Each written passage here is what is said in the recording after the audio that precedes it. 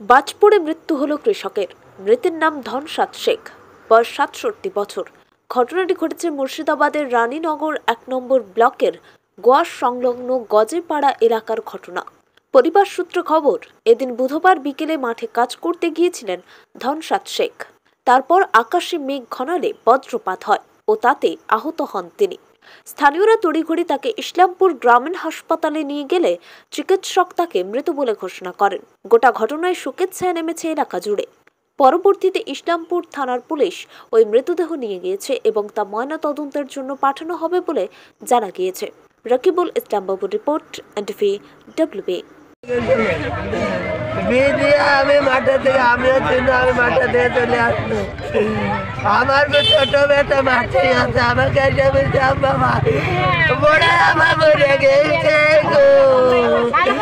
আমি দৌড়ে যাই তো দেখছি তো চার পাঁচজন ঘাড়ে করে নিয়ে আসছে।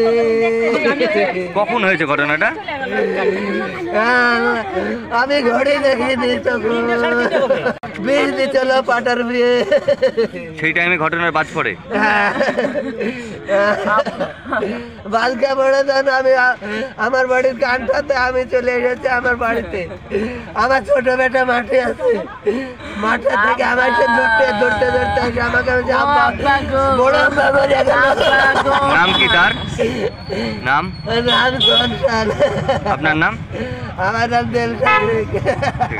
চারটে পঁচাশটা নাগাদ মুর্শাদ আলী মন্ডল সে পাটের জমিতে যেহেতু এখন বর্তমান মৌসুম পাটের নিরাম চলছে সে নিরাতে গেছিল এবং বাজ এবং সেই বাজে সঙ্গে সঙ্গে তার ওই বাজেই মৃত্যু হয় এবং পরবর্তী সময় তাকে হসপিটালে নিয়ে আসা হয় এবং হসপিটাল তাকে মৃত বলে ঘোষণা করে। এই মুহূর্তে প্রশাসন এসে তাকে বর্তমানে ইসলামপুর থানায় নিয়ে গেছে, নিয়ে গেল এবং আগামীকাল তার পোস্টমর্টের ব্যবস্থা হবে।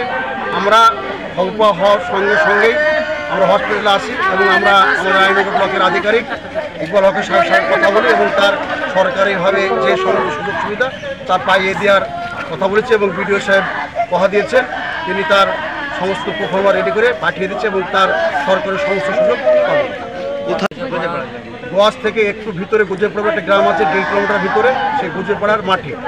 কি কাজ করছে? নিরাম করছিল সেই সময় কি মানে?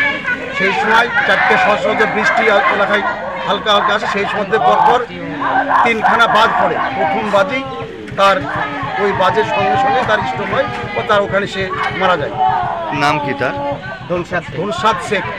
মুনসাদ ধনসাদ। কথা উনষাট বছর। ওকে কৃষি কাজের সঙ্গে জড়িত? কোন কৃষিকাজ সাধারণ মানুষ গরিব মানুষ দিনমজুর মানুষ অসহায় মানুষ। তো আমরা পরিবারের সঙ্গে পরিবারকে সমবেদনা জানাই এবং আমরা তার আত্মার শান্তি কামনা করি এবং আল্লাহ তাকে যেন জান্নাতুল ফেরদেশে পৌঁছে দেয় এবং আমরা পরিবারের সঙ্গে আছি এবং তার সৎ কাজ কামনা করার পরে পরই তার সঙ্গে তাদের সঙ্গে যোগাযোগ করব এবং আমরা তাদের ফ্যামিলির পাশে আছি এখন আছি আগামী থাকব। এই প্রতিশ্রুতি দিচ্ছি। আপনার নাম? জাকারিয়া হোসেন ইসলামপুর।